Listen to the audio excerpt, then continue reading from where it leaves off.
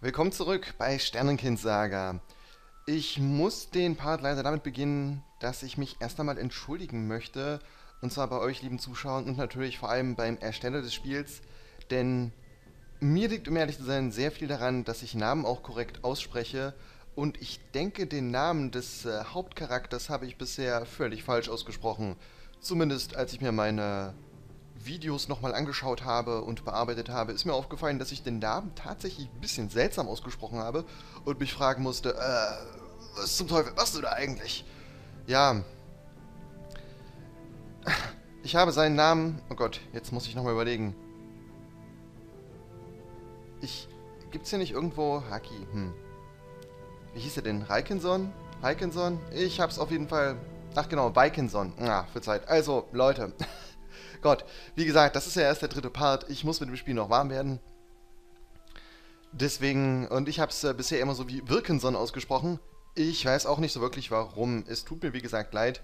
Ich habe es eigentlich versucht, ein bisschen wie Wakenson auszusprechen. Das ist aber auf jeden Fall nicht korrekt. Also ich bin mir recht sicher, dass es Wakenson heißt. Äh, okay, die beiden Typen versperren uns den Weg. Uh, das will ich, ob das normal da ist? Das war ja cool, da ist gerade eine Ratte lang gelaufen.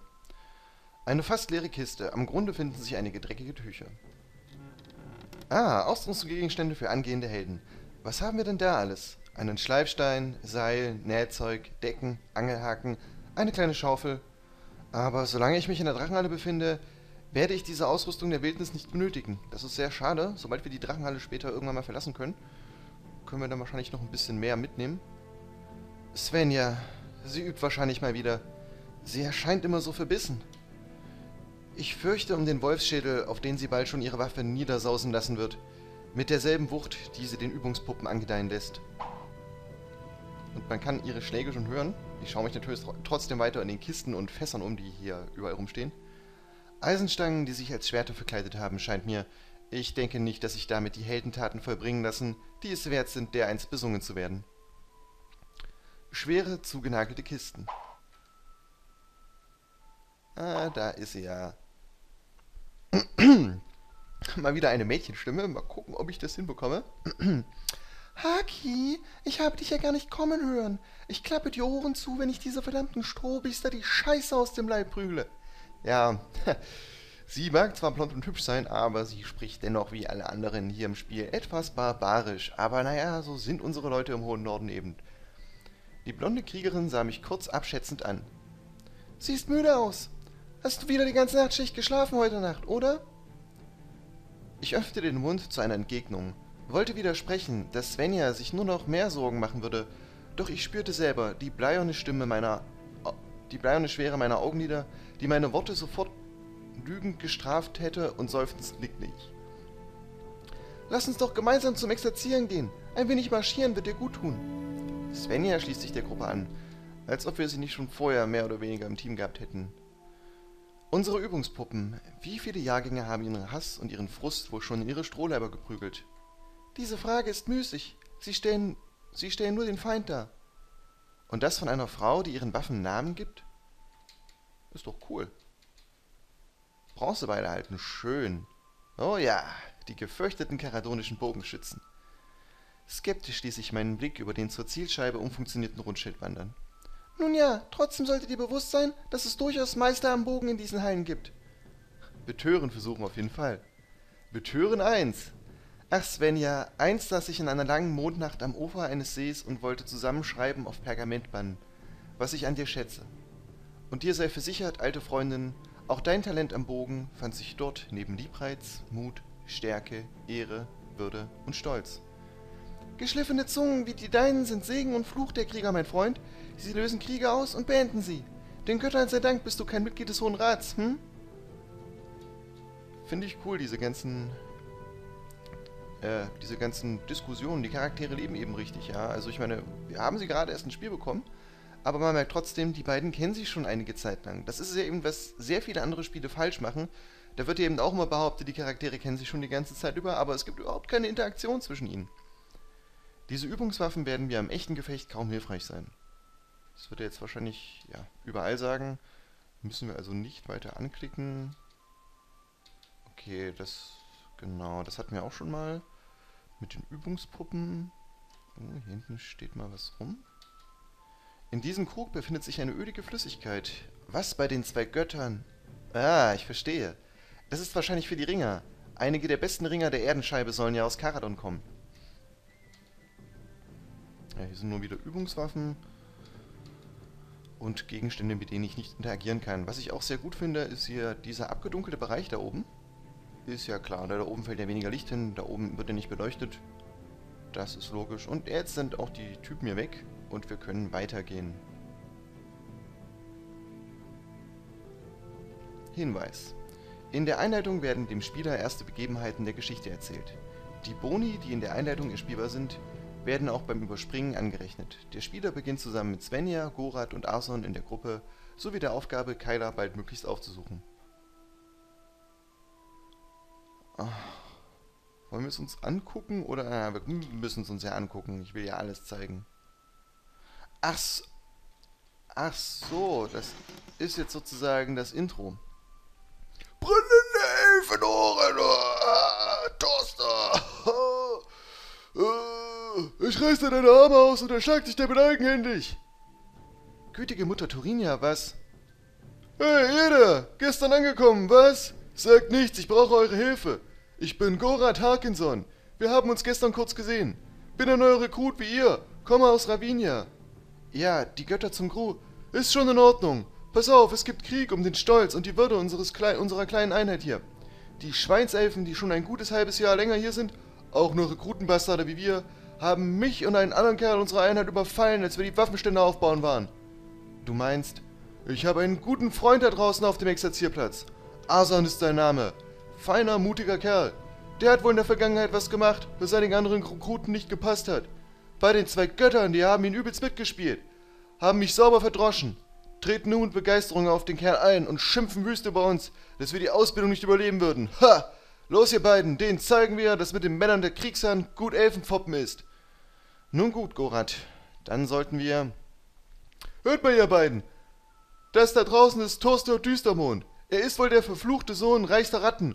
Und auch wenn ihr beiden wohl nicht aus unserer Hauptstadt Ravinia kommt, so dürftet ihr das Handelshaus Düstermond kennen. Ich, ähm, will's nur gesagt haben. Vielleicht machen wir uns gleich einen Feind fürs Leben. Dann sollt ihr wenigstens wissen, dass es sich gelohnt hat, den Bastard eines reichen Vaters einmal ordentlich verdroschen zu haben. Ha! Gorat schließt sich der Gruppe an. Ja, das da draußen, äh, das da in dem anderen Zimmer ist unser Chef. Den ignorieren wir erstmal, oder? Ja, den kennen wir ja, Ragnar. Habe ich das also richtig vernommen? Wir sind noch gar nicht im Bergenton und er wollte euch die Schädel, ohne uns zu fragen, einschlagen, um die Ehre unseres Jahrganges zu verteidigen? Wir... Wir haben euer gebrülltes... Wir haben euer gebrülltes Gespräch mit angehört. Tut mir leid, dass wir gelauscht haben. Diese Schmach können wir in keinem Fall auf unserem Jahrgang sitzen lassen. Sie haben einen von uns überfallen. Dann sollen Sie sich auch mit uns allen essen. Bei den zwei Göttern. Ich bin verdammt froh, euch an meiner Seite zu wissen. Karadonischer Zusammenhalt verdient es seither, besungen zu werden. Hey, ihr da, wo ist unser Kamerad, ihr Bastarde? Die am Boden liegende Gestalt blickte kurz auf, spuckte ein wenig Blut und, starrte mehr, und starrte mehr verärgert als erleichtert zu uns Neuankömmlingen. Und ich stand inmitten einer kleinen Schlachtreihe aus jungen Menschen, die augenscheinlich nur eine Schlägerei im Sinn hatten, und durch meinen Ruf wandten sich nun die Gesichter der Schergen um diesen Toaster zu. Schein, als hätten sie mich endlich mal alleine erwischt. Goran, ich wollte keine Rettung. Sie werden mich sowieso treten. Warum ziehst du andere mit hinein? Da ich den Mund bereits aufgerissen hatte, und unsere nicht minder gewaltbereiten Gegner mich als unseren Rädelsführer ansahen, kon konnte ich nicht umhin, diese Rolle weiter zu verkörpern. Hätte ich gewusst, dass ich diese Rolle noch lange als Bürde tragen würde, hätte ich geschwiegen, an diesem nasskalten Herbsttag. Du bist dieser Tostor? Ich verlange, dass du sofort aufhörst, diesen Mann meiner Truppe... Sonst passiert was, ihr jämmerlichen Welpen. Es gibt hier ein paar wichtige Gesetze, ihr Neuen. Eines davon ist, dass Respektlosigkeit gegenüber dem zweiten Jahrgang hart bestraft wird. Und wir sind unsere eigenen Scharfrichter, also verschwindet, solange ihr noch könnt, oder überlasst uns diesen dreckigen Feigling. Wir reißen dir deinen kleinen Schädel vom Hals und stopfen ihn mit Goblin-Scheiße voll. Denkst du, wir lassen uns von euren Kameraden kaputt treten? Haha, ihr Kinder macht mir Spaß. Das erste Jahr in der Drachenhalle. Und schon so weit das Maul aufreißen? Ich bin Meister Düstermond. Und es war meine Familie, die einen großen Teil der Kriegsgeräte bezahlt hat, das wir einsetzen werden. Über kurz oder lang werde ich eine führende Rolle als Soldat einnehmen. Also lasst euch gesagt sein, dass ein kleiner, wohlfeiler Rückzeug für eure Bande nun angebracht wäre. Wir standen nach dieser Rede wie versteinert da. Weniger aus, Respe weniger aus Respekt, mehr aus Fassungslosigkeit. Wie ihr wollt. Agok, Rabeck, ich sage euch, erschlagt sie wie junge Hunde. Endlich, endlich, das Ungetrete aus diesem feigen Fleisch wurde mir sowieso längst langweilig. Es gibt ein paar Dinge über euren Freund, die ihr wissen solltet. Ich versichere euch, dass jeder Tritt, der seinen Körper beutelt, keinen Unschuldigen trifft. Ist mir vollkommen egal, Hintersohn. Ich würde dir auch dein Gesicht zertreten, wenn ich fünf Gold dafür zahlen müsste. Liebe Mutter Turinia, Ragnar und Gorat sprechen nicht für uns alle hier. Wir können dies auch friedlich regeln. Scheiß drauf, Goldhaar. Eine Keilerei ist überfällig. Reiche Mistkerle wie der verstehen eh nur eine Sprache. Und zwar das Gestammel aus ihrem eigenen Mund voller Zahnstummel, wenn meine Faust da drin getanzt hat. Toaster, es bestand kein Grund für diesen sinnlosen Akt dumpfer Gewalttätigkeit. Ich würde vorschlagen, wir setzen uns zusammen und besprechen. Also gut, Haki, auf mein Zeichen zum Angriff. Du schnappst dir Toaster. Komm nur her, du Elfenweib. Du wirst nicht der Erste, der nach meiner Faustschlag die Nacht begrüßen lernt. Ja, aber sie kämpft ja sowieso gegen den Typen mit dem Hut. Jetzt bist du dran, Dreckskerl. Ich habe einen Namen, Düstermond. Er lautet Haki. Gut, da ich nun weiß, was deinen Grabstein ziehen wird, lass uns endlich beginnen. Uh, das Kampfsystem. Ja, das Spiel verfügt ebenso über ein selbstgemachtes Kampfsystem, das wir, das wir jetzt endlich eingeführt werden. Der Karadone zog sein Langschwert und schien sich auf den Kampf vorzubereiten, mich dabei mit einem verächtlichen Blick musternd. Äh, ich greife einfach erstmal nochmal an. Wow, ich habe 112 gemacht. Der macht bei 97. Okay, gut, wir haben ja auch eine Menge. Ich habe bisher noch gar keine Fe Fertigkeiten, Fähigkeiten, was auch immer. Na gut, dann müssen wir es jetzt hier mit Enter Smashen beenden, aber ich denke mal, er hat noch ein oder zwei Angriffe, hält er noch aus? Einen, ja, genau. Also zwei. Aber wir haben ja ein bisschen mehr Trefferpunkte als er. Der Noob. Welch triumphaler Sieg. Naja, nicht wirklich. Uff. Das war schon alles, was du zu bieten hast, Torstor? Ich kenne Goblin-Weiber, die härter zuschlagen können. 25 Talentpunkte erhalten. Verdammte Axt! Ihr neuen verfluchten Mehlwürmer, stillgestanden!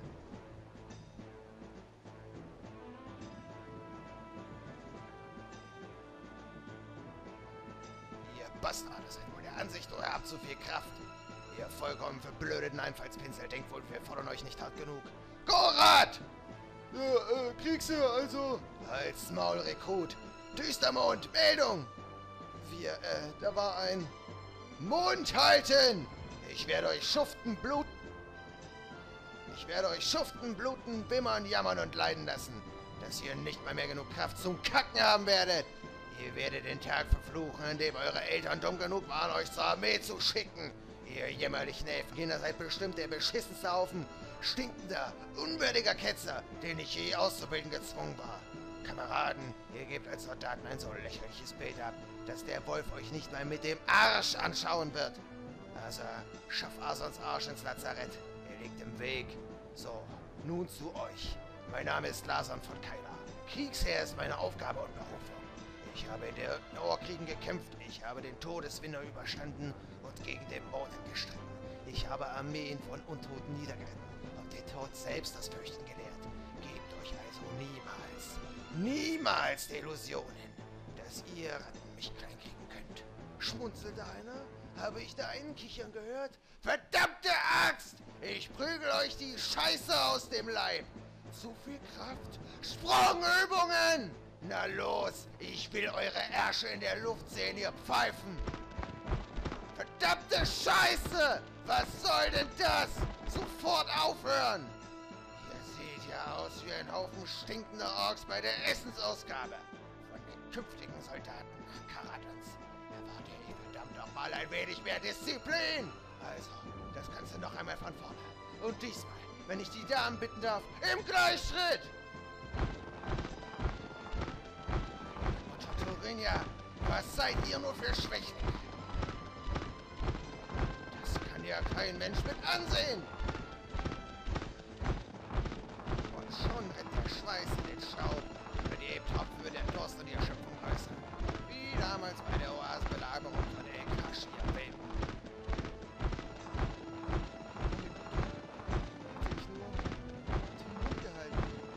Das Rentier springen? Ich nenne es Orkmist. Ich muss mal aufs Klo und Mami ist nicht da, um mir den Arsch zu wischen.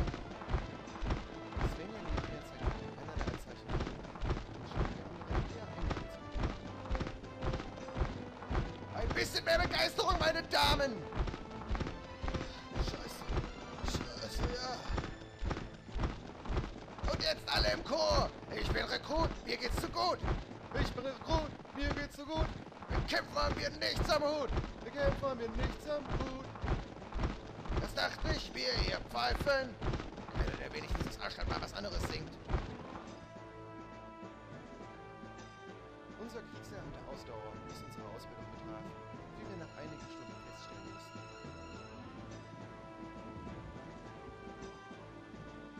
Gütiger Alejandro, euer Gehumpel ist ja bemitleidenswert! Kriegs... Äh, Kriegsherr bei dem Regen sitzen unsere Waffen Rost an. Ja, klebt mir einer Elfe unter mein Helm. Eine Suppenratte, die sprechen kann. Keine Sorge, Tostor. Zu Hause wartet deine Mama mit Tee und Gebäck auf dich. Du musst die Drachenhalle einfach nur heute verlassen. Hey, Dostor, fällt mir ein. Das haben Rost und Rekruten gemeinsam, hä? Äh, äh, beide beginnen mit demselben Buchstaben, Kriegsherr. Gib mir erstmal ordentlichen Facepalm. So ein verdammter Unsinn, du Händlerssohn! Die Gemeinsamkeit zwischen Rekruten und Rost ist, beide machen aus wertvollen guten Waffen harmlose Spielzeuge. Das habe ich mir so nicht vorgestellt. Ach, gewöhn dich daran. Bastard. Ninja, mir liegt meine eigene Suppe im Magen. Ich kann gleich nicht mehr. Verdammt nochmal, halte ihr das hier etwa für einen Priesterausflug? So läuft doch kein Karatonier. Ausdauer, Ausdauer, Ausdauer! So werden Schlachten gewonnen. Eine Schlacht kann man wenigstens irgendwann tot umfallen. Oh, nein. Ist Poet was? Ach, das sind wir. Jeder Mensch hat eine Aufgabe, meine Damen und Herren, bevor er stirbt. Ich, liebe Rekruten, habe die Aufgabe, euch Elfenherrschen beizubringen, Soldaten zu sein. Wenn ich mir euch so ansehe, dann bin ich damit wohl dermaßen im Verzug, dass ich wohl ewig leben werde. So, genug gelaufen für heute, Kameraden. Danke für das Hört mir auf. Turinia sei Dank. Ich hätte auch kein, keine paar Schritte weiter durchgehalten. Springen! Noch später.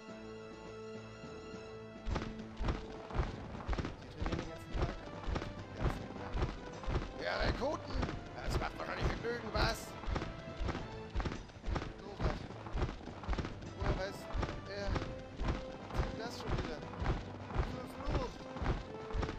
Aber der alte Mann. Der ist ein Wissen.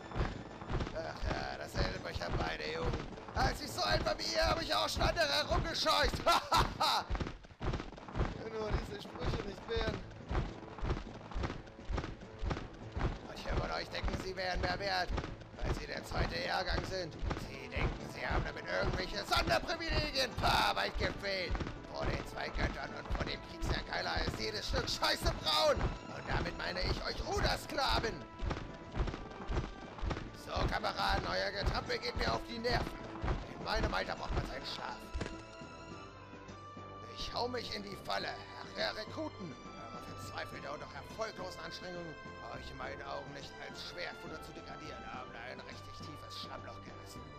passt zwar zu euch, aber da ihr dumm wie Brot und blind wie ein Felsen bei Nacht seid, kann es ja sein, dass einer von euch beim Pissen da nochmal reinfällt und sich die Gräten bricht. Ich wünsche euch also, dass ihr, bevor ihr auch nur daran denkt, eure Schlafgemächer aufzusuchen, dieses verdammte Schlammloch mit Sand zuschüttet. Und dann morgen, beim ersten Hahnenschrei, will ich euch wieder frisch und munter schuften sehen. Verdammte Axt! Dies war also mein erster Tag in der ruhmreichen Armee Karadons als Rekrut. Und meine Träume vom Soldatentum und Lagerfeuergeschichten erschienen urplötzlich in sehr weiter Ferne. Die gnadenlose Tortur hatte ihre Spuren an uns hinterlassen. Es gab niemanden mehr, der nicht glänzte vor Schweiß und japsend am Boden lag und versuchte, die zuckenden Muskeln unter Kontrolle zu bekommen. Aber den Göttern sei gedankt, war dieser Ausbildungstag nicht umsonst. Die Gruppe hält 20 Fertigkeitspunkte. Juhu, das hat sich richtig gelohnt. Viele Stunden später, nachdem die anderen schon vom Exerzierplatz gekommen waren, hielt Svenja mich zurück, stürzte sich auf meine Schulter und wischte selbstvergessen, wie selbstverständlich, ihren Schweiß an meinem Ärmel ab, bevor sie anhob zu sprechen. Es macht mich krank vor Wut und der Hass schürt mir fast die Kehle zu, wenn ich daran denke, dass diese Bastarde um Toaster schon nach wenigen Augenblicken abgehauen sind und uns die restliche Arbeit hier machen haben lassen. Pah! Turinia sei Dank sind wir fertig.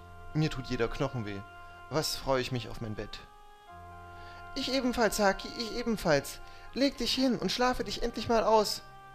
Wir haben Vollmond, Svenja. Bei Vollmond sind meine Träume oft am intensivsten. Fragen zog Svenja die Augenbrauen hoch, und ich biss mir verlegen auf die Lippen. Nun, ich hoffe, dass du eines Tages den Mut aufgefallen kannst, mir davon zu erzählen. Du weißt, ich werde immer für dich da sein. In Ordnung, ich wünsche dir eine gute Nacht, schlaf gut und denk daran, wir sind Kampfgefährten, Waffenbrüder und, naja, fast wie Geschwister. Ich weiß, Svenja, ich weiß, dass du schon immer, schon seit unserer Kindheit... Kommt jetzt ein Flashback? Nein. Oder doch?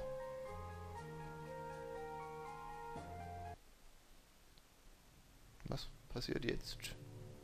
Später, nach einigen Stunden des ruhelosen Umherwerfens. Oh, er hat einen Traum. Die Sterne.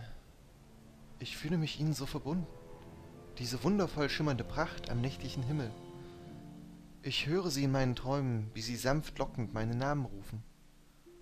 Klare Stimmen, leise Stimmen. Lockend, singend, unwiderstehlich. No. No. Traumsequenzen sind auch mal cool. Du? Du kannst mich sehen, junges Menschenkind? Dies darf nicht sein. Derlei hat es seit unzähligen Jahrzehnten nicht gegeben. Diese Pfade sind gefährlich und nicht für deinesgleichen bestimmt. Besonders wenn sie so tückisch und in dichte Nebel gehüllt sind. Eile, fliege von weg von hier, bevor die verschlungenen Wege und die Wesen darauf lauern dich nicht mehr Gehe nun und erwache in deiner Welt. Auch hier finde ich den Text ein bisschen schwierig zu lesen. Halt! Nein! Warte! Also durch diesen komischen Weltraumboden waren die Texte echt schwierig zu lesen. Das war jetzt irgendwie ein bisschen doof. War auch leider wieder ziemlich anstrengend und ich habe es dann am Ende verpasst. So, das sind die letzten Eier. Bei Alkandor hat uns der Kriegsherr gestern Nacht schuften lassen. Asa, wie geht's denn Ason? Es geht, ich habe ihn in das Lazarett im Sonnenflügel gebracht. In wenigen Tagen wird er sich wieder erholt haben. Torstor, dieser Mistkerl, hat ihm ganz schön böse mitgespielt. Ich werde später nochmal nach ihm sehen, auch wenn die Schwestern des Turiner Lazarettes beste Arbeit leisten. Schläft Haki immer noch? Ja, das tut er. Er warf sich die halbe Nacht ruhelos herum und flüsterte etwas von Sternen, glaube ich. Ich glaube, er träumt irgendwie schlechte Ärmste. Das tut er, leider recht oft. Seit sein älterer Bruder Rivi auf Bergenturn während der ersten Invasion gefallen ist, ereilen ihn seltsame Albträume. Darüber reden mag er nicht, aber ich kenne ihn seit Kindertagen und normalerweise dachte ich, er würde den Verlust schneller verkraften, zumal er seinem Bruder nicht so wirklich nahe stand. Halt, nein, bitte nicht, warte. Asa, äh, das kam von Haki. Schnell, er ist vielleicht verletzt. Oh, Haki liegt nur in seinem Schlüpfer bekleidet, in seinem Bett. Haki, verdammte Axt, was ist denn mit dir los? Mann, sprich schon! Gorat, du Ochse, beruhig dich doch mal. Lass den Mann sprechen. Hagi, wie, ge wie geht es dir? Ich... Da war dieses Mädchen. Ich... Was hat sie dir angetan, Haki? Sprich's aus und ich breche ihr alle Gräten. Dreck. Nichts. Nichts. Sie stand da und hat mit mir gesprochen. So als ihre Stimme klingt noch in mir. Ein Weibstück? Und dafür fällst du in solche Panik? mein großer Verführer und furchtloser Arsbruder? Aber sag mal, du stolz karadonischen Minnegesangs, was uns alle hier in Wirklichkeit interessiert ist, war sie nackt oder nicht? Nachdem es Gorat geschafft hatte, seinen Worten eine wahrscheinlich nicht beabsichtigte, jedoch deutlich hörbare Spur von Spott zu verleihen, regte sich mir ein fast trotziger Stolz, und ich schalt mich meinen Närren, so überreagiert zu haben. Gegen meinen Willen musste ich müde grinsen und spürte, wie die, wie die schwere Last meines Herzens, hervorgerufen durch diesen Traum, immer mehr abnahm. Und doch wusste ich, dass jene erst wiederkommen würde. Ach, Haki, unser Sorgenkind, fürchte dich nicht, wir haben alle Angst mit unseren Träumen und Ängsten zu kämpfen, aber du wirst sehen, wenn erst der Schatten der Wölfe durch die Sonne Turinias aufgelöst wurde, wird die Welt in ebenso hellerem Licht strahlen, und Ruhe und Frieden werden Einzug halten in deine Seele. Das verspreche ich dir. Du Du hast wohl recht, Svenja. Ich war im ersten Augenblick nur so erschrocken, da dieser Traum so wirklich wirkte, als hätte ich nur die Hand auszustrecken brauchen. Hey Kleiner, solange wir den Rücken stärken und zusammenhalten, wird dir kein Unheil geschehen. Wir haben Tostor verprügelt. Wenn es sein muss, dann halten wir gegen dich die nächsten Jahre einfach wach. Ragnar hat recht. Vergiss es. Lass uns doch aufbrechen und nach Arson sehen. Er müsste doch im Lazarett der heiligen Schwestern sicherlich wieder genesen sein. Das könnt ihr nicht machen. Er ist doch so schwer verletzt worden. Gewährt ihm. Wir sind Soldaten Karadons. Er wird einfach nur nach einer kleinen Schlägerei sicherlich nicht im Bett verwesen. Haki und ich werden ihm schon Beine machen. Ah, genau. Und ich begleite euch beide. Haha, mal sehen, wie es dem alten Zweifler geht. Dann tut mir wenigstens den Gefallen und sucht mich noch schnell auf, bevor ihr geht. Svenja und Gorat schließen sich der Gruppe an. Das Sternzeichen-Amulett meines Großvaters, sein letztes Geschenk an mich, schimmerte kurz nach dem Aufwachen seltsam auf. Ach nee, es schimmerte sachte auf, sehr seltsam. Hinweis, Hakis Amulett hat aus mysteriösen Gründen an Kraft gewonnen. Cool. Gut, dann nutzen wir erstmal diese Gelegenheit, nachdem der Wait-Befehl weg ist und die Charaktere in Position sind, nutzen wir die Chance mal zu speichern.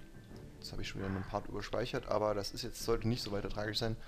Und sehen uns dann beim nächsten Mal, wenn es heißt Sternenkind-Saga. Bis dahin.